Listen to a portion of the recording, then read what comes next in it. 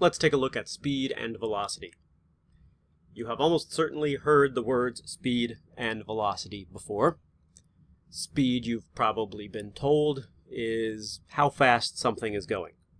And velocity is four syllables that mean exactly the same thing. In physics, however, those two terms have specific meanings and they are not the same. Speed in physics, uh, we can say, is the ratio of the distance traveled to the time that it takes.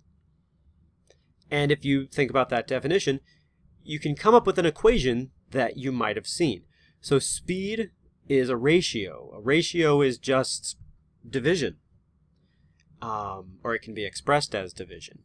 And if it's the ratio of distance traveled to time that it takes, then it's the distance traveled divided by the time. It's a ratio, so we can set it up as a fraction. And that's where this equation comes from, this equation that you may have seen in a previous course, where someone says speed is distance over time. But you have to be careful. That equation is not complete, and it can be misleading when we look at some circumstances. So, if you're comfortable with the equation speed is distance over time, that's nice. But keep in mind, that's not the full definition. The distance is the distance that's been traveled, and the time is the time that it has taken to travel that distance. Speed is a scalar, uh, and it has units which we can figure out if we look at that equation. Well, speed is equal to, say it says distance divided by time. Distance has units of meters, time has units of seconds, so the unit of speed would be meters per second. Okay. Velocity. Velocity is different.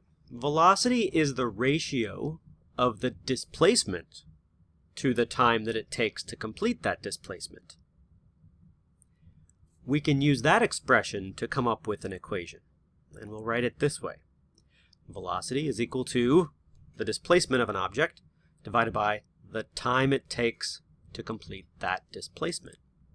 And we can even shorten that into just variables. Velocity is often given the symbol v. Displacement is often given the variable s. And if that seems weird, it is. But that's what we'll do. Displacement is represented with the variable s, and time is represented with the variable t. So v is equal to s over t. And that's kind of our basic velocity equation. And if we think about the units of velocity, well, the unit of displacement is meter, the unit of time is second, so the unit of velocity would be meters per second. Speed and velocity have the same units. Velocity is a vector. That's another big difference between speed and velocity. Velocity is a vector, so it must have direction. The direction of the velocity is the same as the direction of the displacement. So if you look at our equation, v is equal to s over t, another thing that an equation tells you that you may not have seen in the past is that everything on both sides of the equation must be the same. So we're used to seeing that the number has to be the same on both sides. And we've talked about how the unit has to be the same on both sides.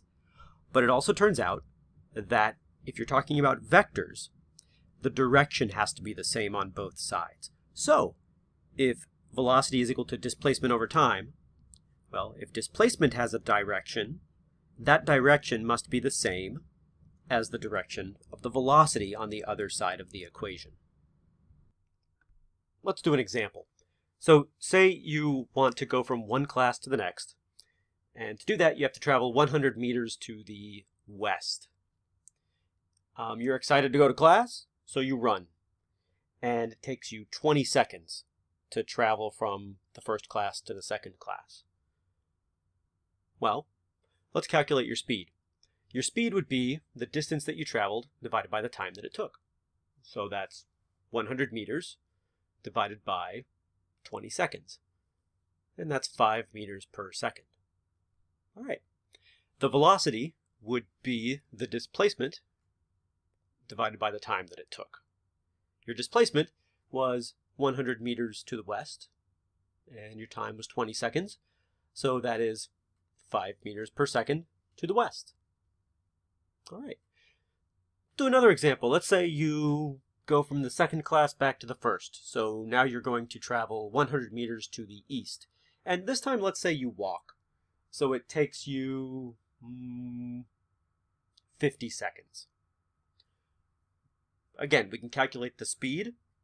We'll do that expression, 100 meters divided by 50 seconds. That's 2 meters per second. And your velocity would be 100 meters to the east divided by 50 seconds, or 2 meters per second to the east. If you look at the results of these two examples, you can start to get a feel for the meaning of speed and velocity. If the speed is 5 meters per second, that means you're traveling 5 meters of distance each second. If you have a displacement of 5 meters per second west, then you have a displacement of 5 meters west every second. And if your speed is 2 meters per second, you're traveling a distance of 2 meters each second. And if your velocity is uh, 2 meters per second east, then you're traveling a displacement of 2 meters east each second. Now, one way that those two situations were similar and somewhat simple is that the person did not speed up, did not slow down, did not change direction, did not stop, nothing like that. The person was always moving at a steady pace, was either always running or always walking. A situation where the object does not speed up, does not slow down, and does not change direction, but always moves at a consistent pace is uniform motion refers to a situation where the object does not speed up, does not slow down, does not change direction. And of course, things do speed up and they do slow down and they do change direction. But this is where we'll start. Uniform motion is a great starting place, and we'll worry about the more complicated situations a little bit later.